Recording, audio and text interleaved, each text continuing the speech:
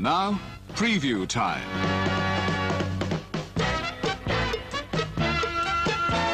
When it comes to entertainment, you can't beat a good film.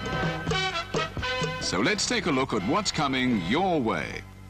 Welcome back, one and all. It's that glorious time of year where my hair is just too short for like a whole month. I. I grow it out till I can't handle it anymore, and then it gets cut too short. Every time. Every time they cut it too short. And I just I just gotta wait for it to grow back to the length I like. Welcome back to Matt's Movie Nights. My hair's too short. I'm upset about it. Last time I did an Easter triple feature, which I think is this is the first time I've done anything for Easter on this channel.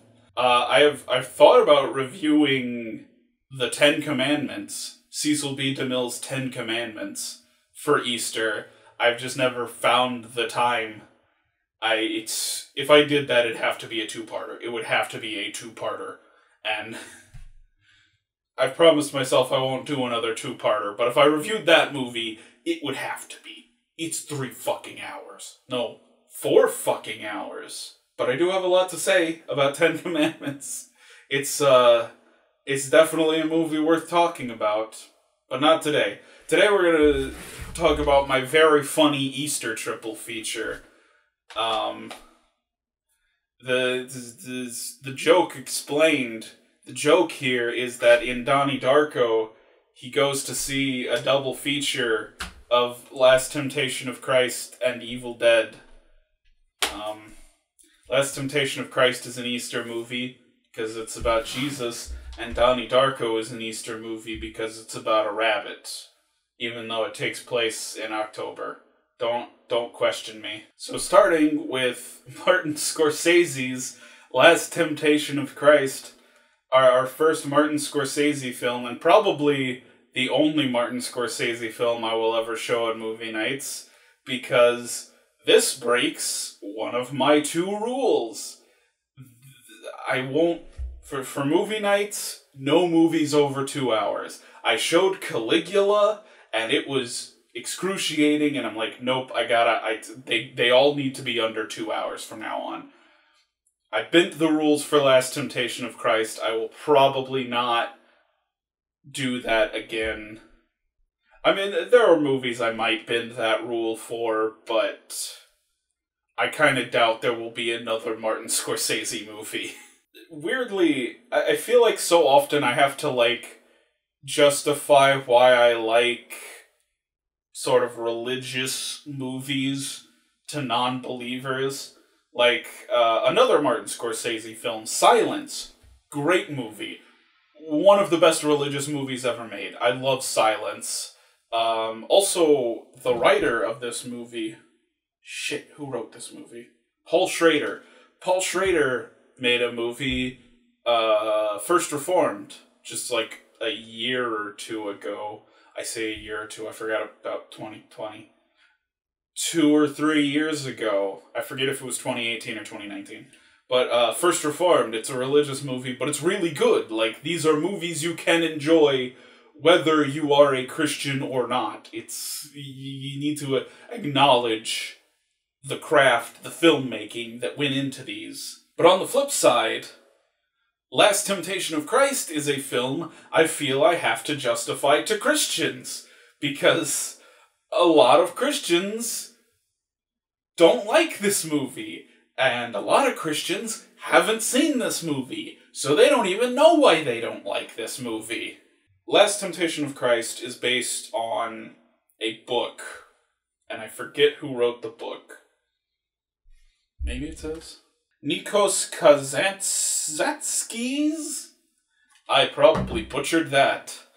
I should have just pretended I didn't know who wrote this. It's based on a book and not the Gospels. It's a, it's a fictionalized retelling of the story of Jesus. It admits as much in the intro of the movie. The the thing I think Christians would probably object to most is in this film, uh, Jesus is just a man who has the role of Messiah bestowed upon him. He is not divinely born. He is he's a normal man, and God chooses him to be the Messiah. and I I that goes against what is typically considered biblical canon. Although there were a lot of people in like the early early Christian church who believed that. That was not an uncommon belief on among early early Christians. About the time the Catholics formed, whatever the Catholics believed kind of became like here's what's canon and stuff like Jesus just had the role of Messiah bestowed upon him stopped being very popular with people. So I could see Christians sort of objecting to that.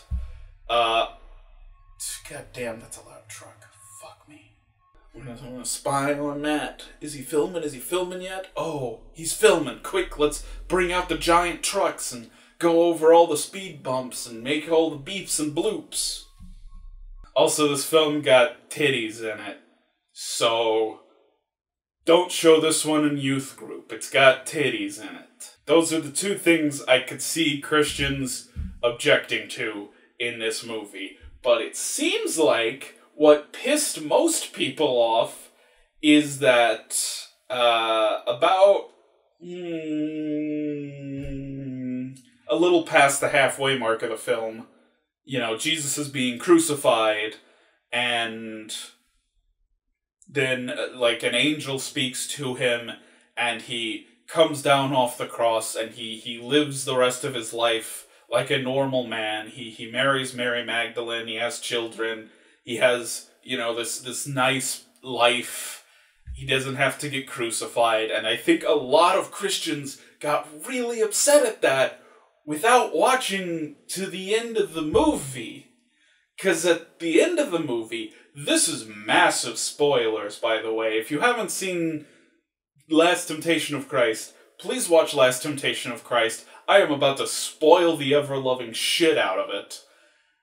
At the end of the movie, it's it shows him he he he, has this like nice life and he decides instead of having this nice life, he's gonna die on the cross.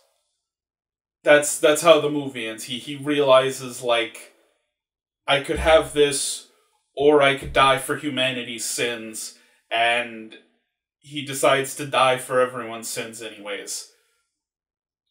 Which you know ties into the title of the movie. It is Christ's last temptation. He is tempted to come off the cross and live a normal life, and he chooses not to, which I think is a very Christian message for this film to have. That that's the part Christians seem to have a problem with, not the stuff about like him not being the Messiah or the titties. That's the thing. Everyone's like, "Oh, Jesus has to die on the cross. You can't make a movie about Jesus not dying."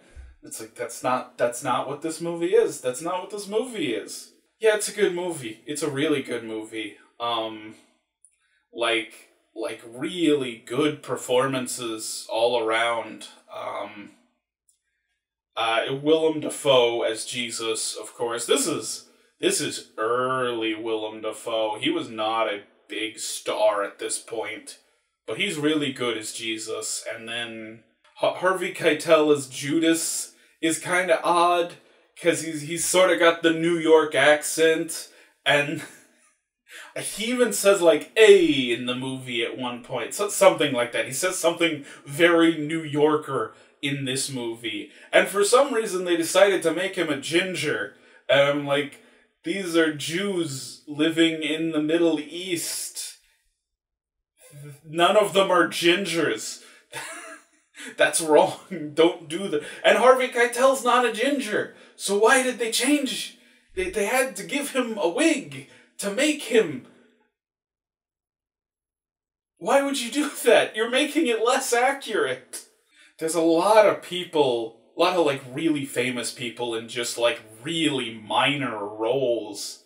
I mean, it's about Jesus. Jesus is the main character, and it the only other two characters that really do much besides Jesus are uh, Judas and Mary Magdalene. Um, but apart from those two,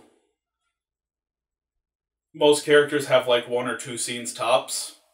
But there's still some really great actors in there. Uh, Harry Dean Stanton plays uh, the Apostle Paul.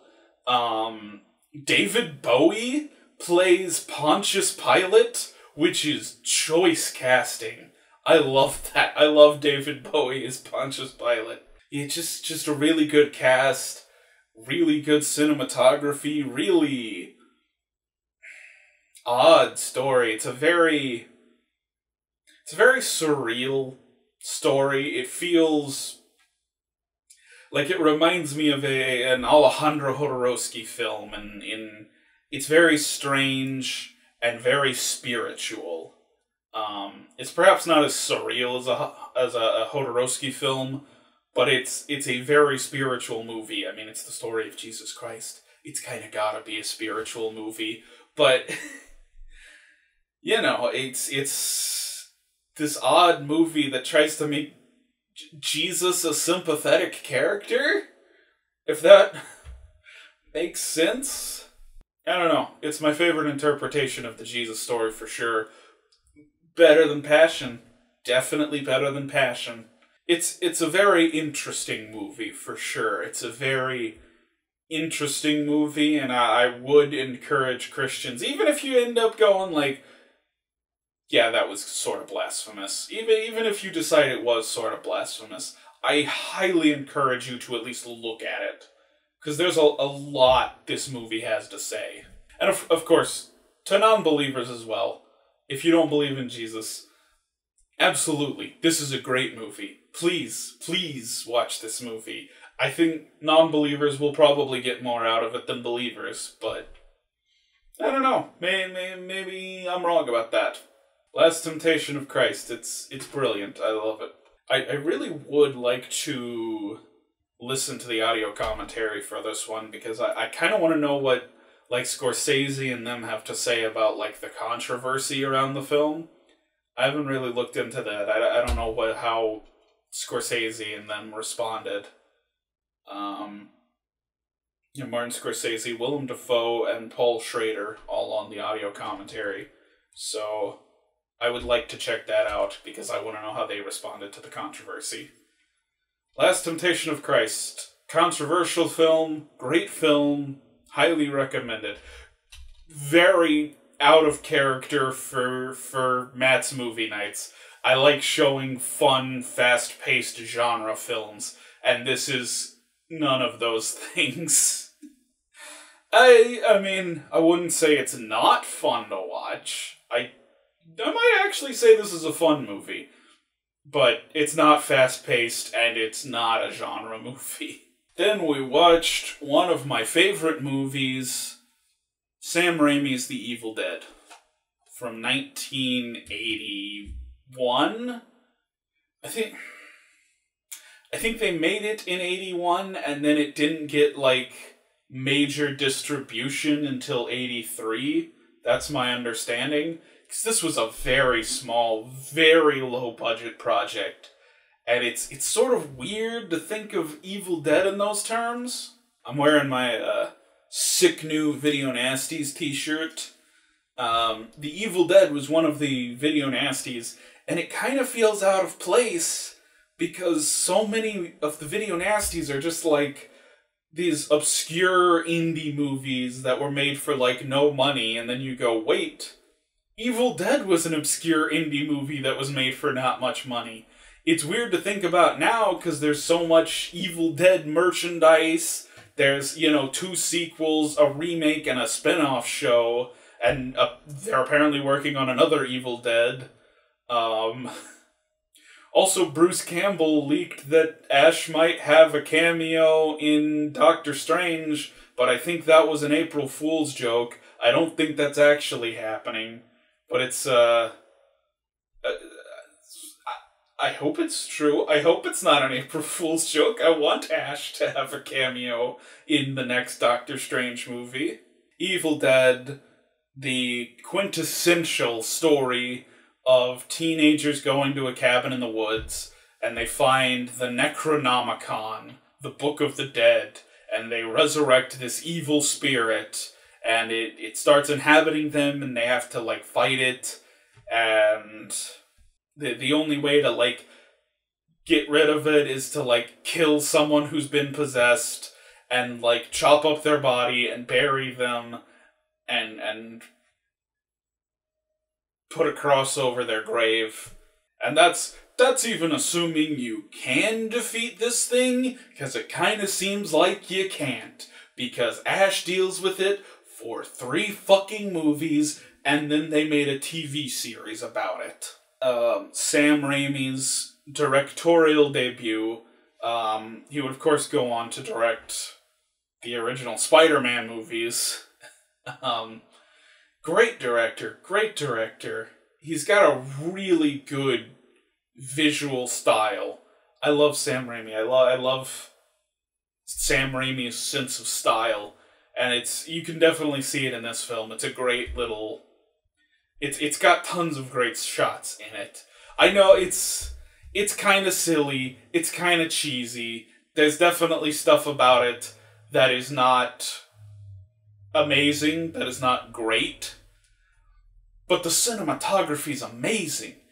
Sam Raimi knows how to shoot and edit a film. Um, I also think uh, one of the Coens edited this. Ethan Coen, I think. Ethan Coen was like one of the editors on Evil Dead, on the original Evil Dead, and that's how he got his start in the industry. That's how the Coens got their start in the industry. So, yeah, we, we have the Evil Dead to thank for Sam Raimi and the Coen brothers. And Bruce Campbell. Can't forget Bruce Campbell. Although, he's admittedly not very good in this movie. he's better than a couple of the other actors, but he, he... I don't know, like Ash... What is that sound? Probably just wind like Ash in like Evil Dead 2 and Army of Darkness, Ash, Ash is this kind of crazy like ooh super badass action hero. And it's kind of a joke, like he, he tries to be the badass action hero and it like comes back and kicks him in the face. But in this he's like such a tame, soft spoken person he he doesn't really do much in terms of action. He fight he fights the uh, the Deadites obviously, but like everyone he has to like he, he's required to do that. Odd start for a character and an actor who would go on to be much much cooler than this. It's super fun. It's super bloody my god, there's so much blood in this movie, and I love it. I love it. It's like. I would barely even describe it as gory because it's all just blood, and it's such an excessive amount of blood that you'd be like, it's it's not a it's not realistic. You know, someone gets stabbed and it's like blood, blood everywhere. It's just paint the fucking walls from the tiniest cut. You know what this made me think of?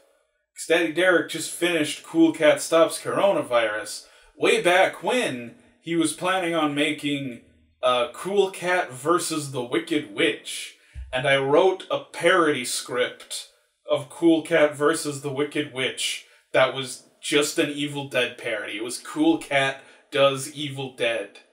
I need to dig that script up because I'm pretty sure it was finished, or or at least close to being finished. I should see about releasing that, about, about, about doing something with that script. Evil Dead, it's it's fun, it's so much fun, it's so enjoyable, it's really well made, considering the context it was made under. Um, it, it gave rise to a lot of big people in Hollywood. It's it's both a really fun and entertaining movie and a fairly important movie. And now that I've shown it, I can show Evil Dead 2 whenever I want. And Evil Dead 2 is a much, much better film. Like, I, I, I love Evil Dead to bits. It's amazing, it's great, and I love it. Evil Dead 2 is better. It's, it's not even competition. Evil Dead, please watch it. I love it. I, honestly, I would recommend Evil Dead over Last Temptation of Christ. I think Evil Dead's a better movie. I love Last Temptation of Christ too, but you know, you can't compete with Evil Dead unless you're Evil Dead 2. Finally, we watched Donnie Darko uh, because he goes to see a double feature of Evil Dead and Last Temptation of Christ. Um, I kind of they show clips from Evil Dead in this movie. Like he's in the theater and they show the screen and he's watching Evil Dead. It is Evil Dead, but I feel like they meant to put Evil Dead Two because this takes place in 1988. And Last Temptation of Christ was 1988, and Evil Dead 2 was 1987. So it makes sense that both of those would still be in theaters when this movie takes place. It's kind of weird that they're showing Evil Dead in 1988. But whatever, I, I think Richard Kelly had a point with that. I think it's funny. I think it's a really good joke that he sees a double feature of those two movies. And I, I do think uh, Last Temptation of Christ does tie in to Donnie Darko. There is definitely a connection you could make between those two. Donnie Darko, the story of Donnie Darko, a boy who suffers mental disorder. Um, I think kind of schizophrenia. It seems like maybe he has schizophrenia, but um, he starts seeing this rabbit named Frank who's trying to like warn him about something and like the the first time he sees Frank, it, Frank tells him to like get out of the house. So he gets out of the house, and as soon as he does, a a jet engine from an airplane crashes into his room, and it would have killed him if he hadn't left the house.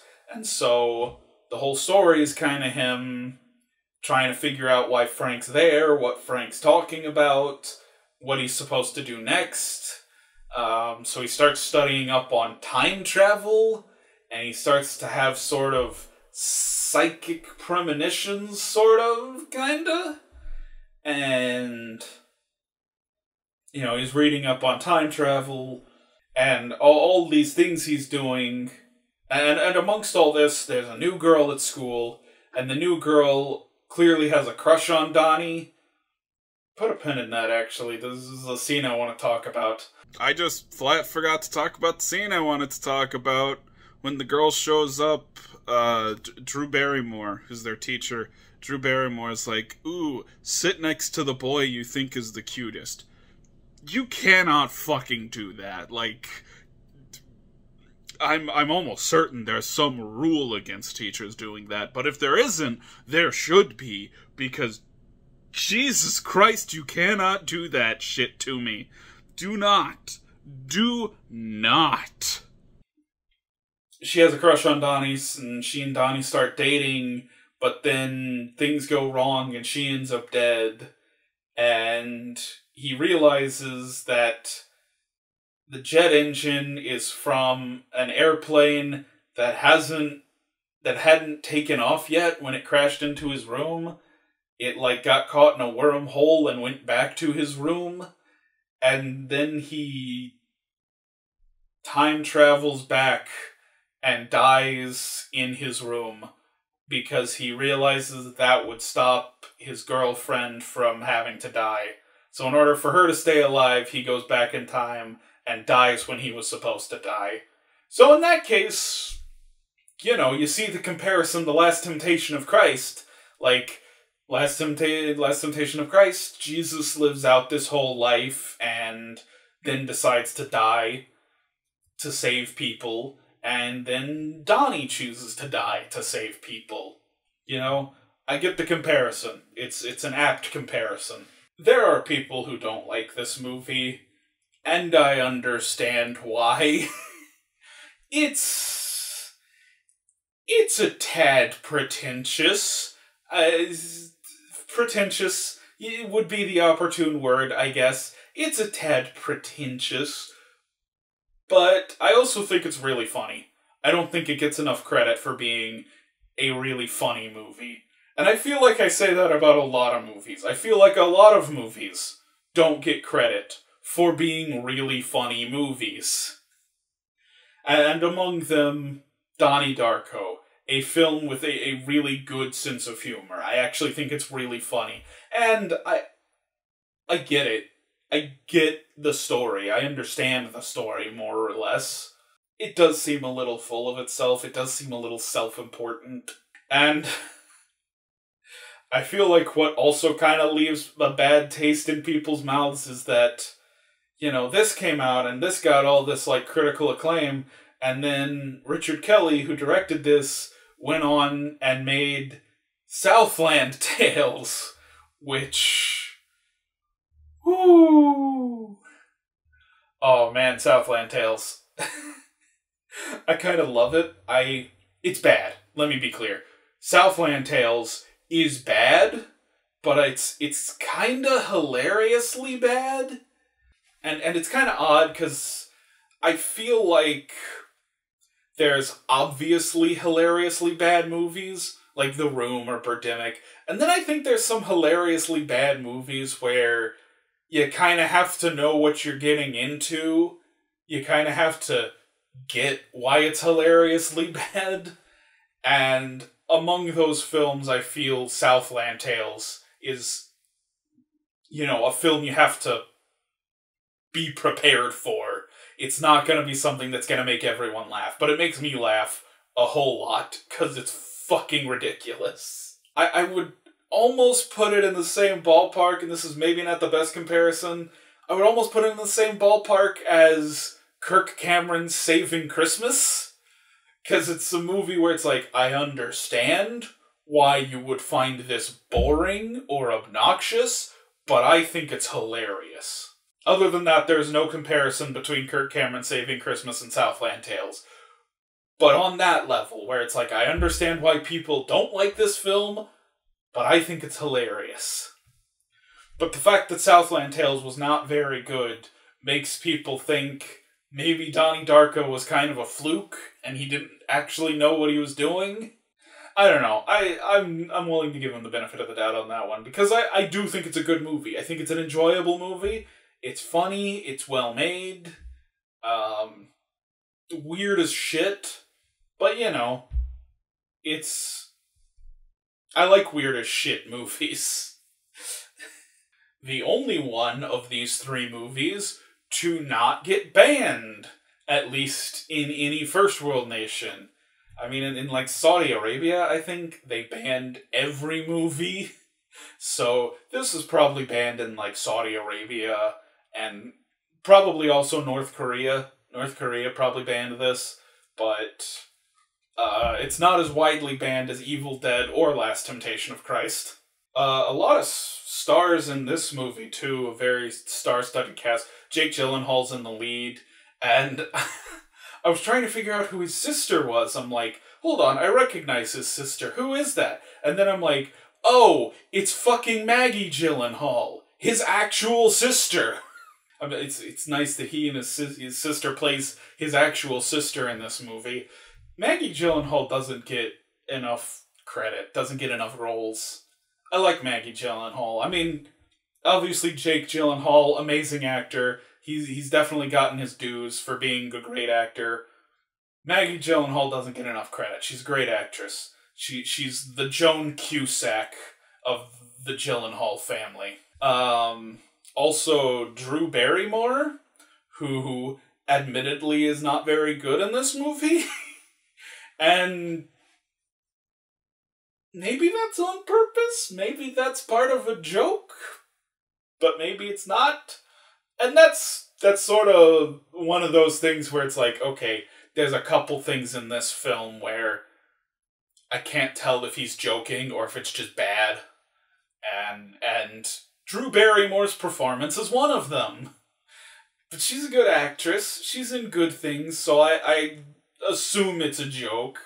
But she's not very good in this. Uh, who else? Seth Rogen has like a very small role. Very young Seth Rogen has a small role. Patrick Swayze is in this movie, which a very late career Patrick Swayze, you know, Very early career Jake Gyllenhaal, early career uh, uh, Seth Rogen, very late career Patrick Swayze in this movie.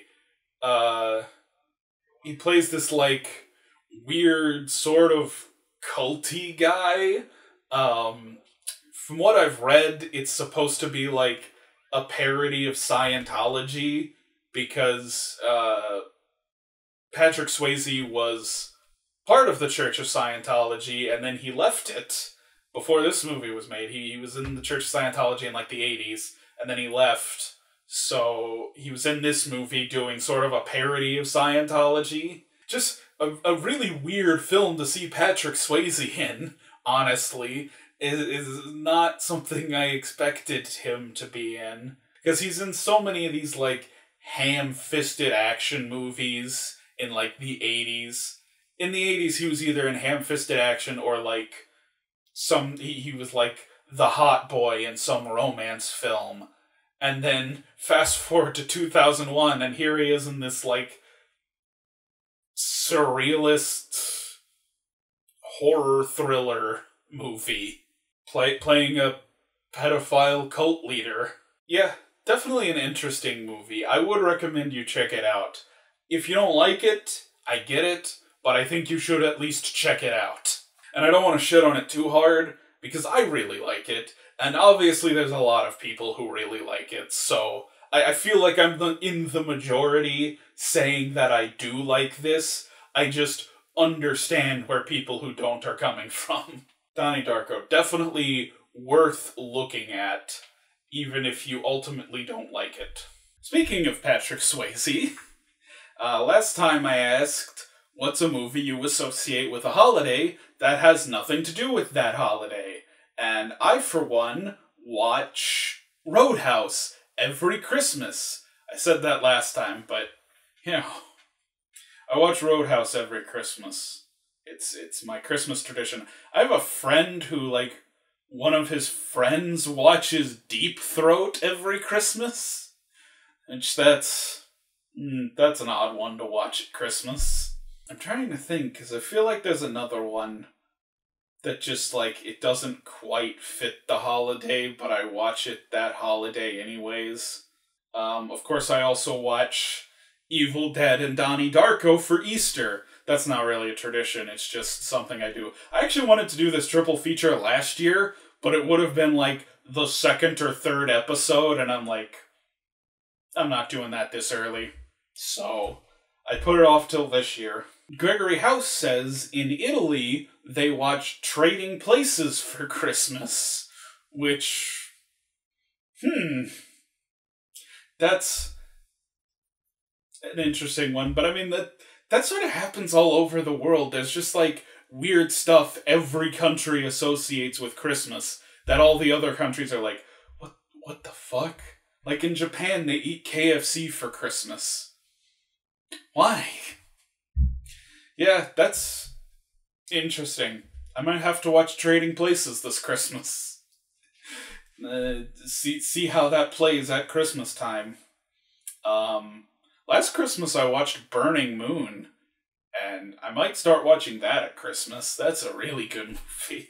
I mean, in America, we watch the Ten Commandments at Easter, even though the Ten Commandments really has nothing to do with Easter. You know, like Ben Hur, I get. Ten Commandments. Not really. Maybe, kinda. Because, like, it's also Passover. Easter comes at the end of Passover.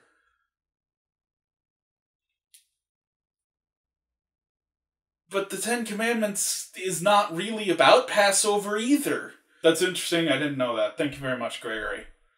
Also, a bit of a late edition. Henry Koslick tells a story about um, going down to to like his mom's friend's house for Fourth of July weekend every year, and the only film they had there that was child friendly was Mouse Hunt. So Mouse Hunt was his uh, Fourth of July movie. It's been a long time since I've seen Mouse Hunt. Like I, I saw that when I was like five or six, probably. All I, I the only scene I remember is the scene where like they just fill an entire room with mouse traps. And then the mouse manages to set one off without killing itself, and it just sets off all of the other mouse traps in the room. That's all I remember from that movie. Tonight, I suppose my question is what is your favorite rural horror movie? You know, a horror movie that wasn't shot in LA or in New York, something that was made way in the backwoods of, you know, some Midwestern state. Because to counterbalance watching three movies I have seen, we're going to watch three movies I haven't seen. It's Arrow Video's American Horror Project Volume 2. You might remember, I guess less than a year ago, I did Volume 1. But I had seen one of the movies in Volume 1 um, because it was a video nasty. what do you know? We're at like six video nasties now?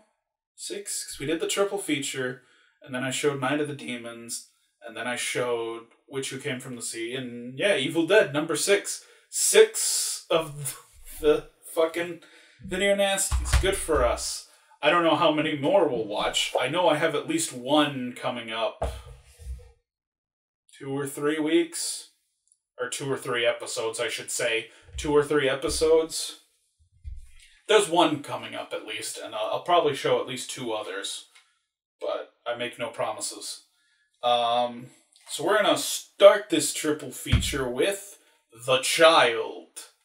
Um, followed by Dark Argus, Dark Dark August. Woo.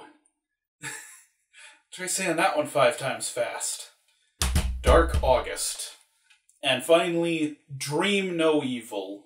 Um, the three movies in the American Horror Project Volume 2. And I think they're also on Tubi because, like all of Arrow Video's movies are on Tubi. So, yeah, we're going to watch those tonight and talk about them next time. Until then, my hair is too short.